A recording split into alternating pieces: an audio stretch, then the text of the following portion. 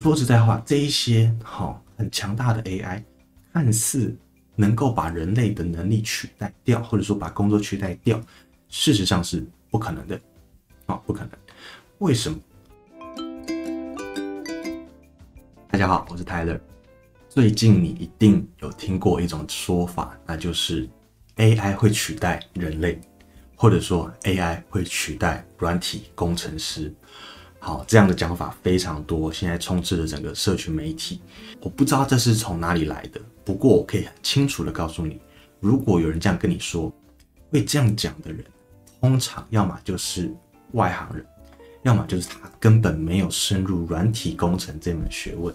好，所以今天呢，就让我来带你，可以更多了解哈，到底什么是软体工程师，以及为什么 AI 不可能会取代软体工程师哦，是不可能哦。好，那首先要讲的是 AI 它现在可以做到的能力，AI 现在已经可以在程式码方面做到的事情呢，包括有自动生成、自动 debug。然后自动找出你原本程式码的一些漏洞，或者说可以更好的地方。然后最近有一个叫做 Davian，就是一个外国的一个很强的 AI 就对了，它可以做到的事情，甚至是你给它一个任务，然后它把这个任务拆解成可能小的任务之后呢，用啊编码，就是在用那个叫做 Dynamic Programming 的一个方式呢，去重新建构出原本的问题，然后解决它。这些传统的撰写呢，AI 现在都可以逐步的去取代，并且把一些工作自动化完成。我们说，其实 AI 就是一种自动化的工具或软体而已。好，那 AI 既然可以做到这些东西，是不是就能够取代软体工程师呢？这个问题呢，其实要从软体工程师到底在做什么来说起。很多人他以为软体工程师。就是写写程式码，哦，这是外行人的想法。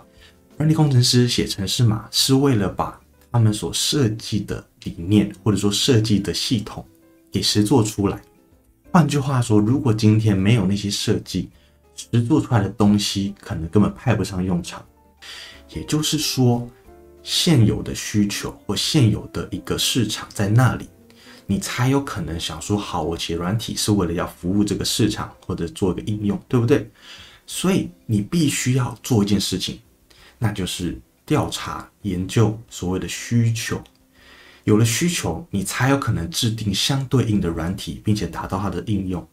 所以这些嗯所谓的前置作业好了，或者说领域知识，如果你在事前并没有做这些东西，你是不可能会做出一个好的软体。所以，软体工程师不单只是在写程式码而已，他们必须要融会贯通，把客户的需求跟系统的能力合并在一起，整合在一起，才变成程式码。所以，写程式这个步骤呢，说实在话，真的是一个劳力活，它不太需要很多的智慧跟知识，因为你可以去查手册。可是，设计软体，注意哦，是设计软体，就是整个系统架构。是不可能用简简单单的方式就理解的。那你说，哎，不对呀。假设我今天把一个情境丢给 AI，它也可以回答出，哎，该怎么设计，该怎么做，对不对？好，问题来了，AI 它并不具备整合的能力。好，目前好，如果说它真的具备整合能力，我跟你讲，各种各行各业都可以被取代了啊。那如果具备整合的能力，那它才有可能说，它可以取代软体工程师。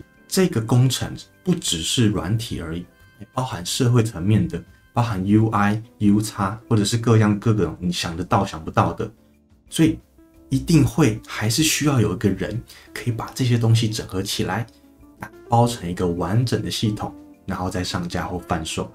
所以软体设计是难以用 AI 取代的，OK？因为它需要更多的人因工程啊，更多跟人有相关的。呃，一些社会理念跟知识，他才有可能去写程式。否则，你真的只会写程式的话，那不应该叫做软体工程师，那只是码农而已。哈，就是网络上常听到的一个用语。所以，分析系统、还有设计系统架构等等等，人需要使用者以及会提供这个服务的人来满足。AI 永远不可能做到这件事情。否则呢？啊，否则呢，其他所有相对应的职业也都可以被取代，对吧？例如说，哎，会计报表，那就不用会计师了吗？就 AI 会计，对不对？然后 AI 这个美术师，对不对？不是，其实 AI 进阶成为一个我们很好的虚拟伙伴之后，人会开始往上思考，就好像当初我们用画画来把一个影像或一个场景给它记述记下来，对不对？可是现在谁才还在用画画的呢？除非你今天是画家，大部分的人都是用拍照的。如果他今天看到一个不错的风景，他想要分享给其他朋友，他不可能花一个小时、两个小时去画出来，人家也不一定。看得出原本的场景，可是拍照并没有取代画家，仍然有一堆人透过科技好不断进步的这些工具，在这个工具之上来创作他们的作品。所以换句话说，只是我们的工具变强了，那会懂得用这些工具去创作他们原本的内容的人就会更省力。OK，注意哦，是更省力，它是更强，而不是被取代。所以。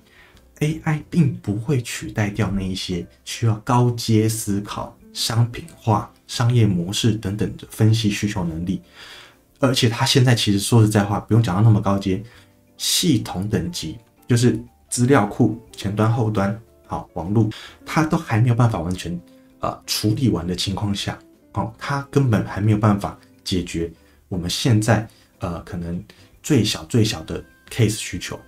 未来的模式一定就是你和 AI 密不可分，你就把它当做电脑就对。其实电脑就是这个词嘛，电子脑袋，电脑，所以它一定就是会跟你互动，然后你问他，他可以给你答案，然后不断的去改你想要表达的东西。你可以减少花很多时间在处理那些细节。好像我最近，我假设今天要开发一个好大型的这个语言模型的作业系统，好了。我们就可以用所谓的 AI 的逻辑，好，不是我们的逻辑哦，是 AI 的逻辑来设计这个系统。讲具体一点，就是说，今天 AI 可能会觉得，好，你这个系统呢，应该有什么什么什么，那你觉得 A 好像有一点，呃，跟我们目标不一样，说好，我把 A 拿掉，接着再问他说，那如果我加入我的这个 D 跟 E 怎么样呢？他就会回馈你说 D 跟 E 好或不好，好在哪里，不好在哪里，等等等。你不太需要细究说 A、B、C、注意怎么做。OK，你只要思考这些东西怎么用，而不是思考它怎么做。这样一来，你就可以加速你要做的事情。那你说他未来会成长？对，可是人终究是会适应的，因为。当初的工具进阶了，你看到的是人类也进阶了。人类适应之后，又习惯了那个工具，往更高层次去发展。所以，未来的工程师或未来的任何职业会变怎么样呢？其实讲白一点，就是我刚才说的，它只会变得更有智慧。我们处理的任务只会变得更高层次，或者说自然的层次，像是你就不用再写程式了。哎，对，你说哈，不用写程式。那还要设计软体吗？这是两回事。情写程式是把软体所设计出来的架构理念变成实际可以运行的，叫做 EXE 可执行档而已。就是它并不是一个叫做没有写程式就不能做的职业哦。软体设计有时候是在一个抽象，甚至是 paperwork，就是图表画出来的那种层次就可以设计软体。那至于怎么把软体落实，是通过程式码。好，去实做，所以我们就可以减少我们去找如何实做出这个概念的语法，或者说呃程式语言也好，你只要记得，未来就会变成是细节的、细节的给 AI 做，理念上的好抽象或者说高层次的、自然的会由人类来做，因为人类的脑袋就是可以很快的把不同东西连接在一起，这个真的是在呃。AI 的领域，尤其是机器人的领域里面很难做到的事情，他们很难很快的去捕捉到全局的，就是整张照片或整个环境当中某两个物件的关系，那个现在还是很难精确去做出来的。这个却在人类的脑袋里面不到一秒，啪就是想完了。所以再讲一次，工程师不会被取代，软体工程师也不会被取代，美术师不会被取代，任何一个各行各业，说实在话。如果有 AI 的帮助，是更厉害，而不是被取代。所以还是在这边呼吁大家哈，不要害怕这个新的科技，其实它就是就是老调重弹。然后其实以前在讲 PC 的时候啊，两千年大家也会说哦，一堆人要被取代啦。没有啊，你看现在大家不是活得好好的，然后会有更多的新兴产业以及新的领域出现，那就会有相对应的职缺，也就会有相对应的工作。好，所以不用那么担心，反而你要去想，哎，我可以用 AI 帮助我做什么？我可以跟他变成朋友之后，他可以教我什么？我可以呃给他什么回馈等等，哦，这样子我们才会在未来的时代，包含现在到未来，你可以更加的轻松，而且不会害怕这些困难。希望以上分享的对你有帮助，我们下次再见喽，拜拜。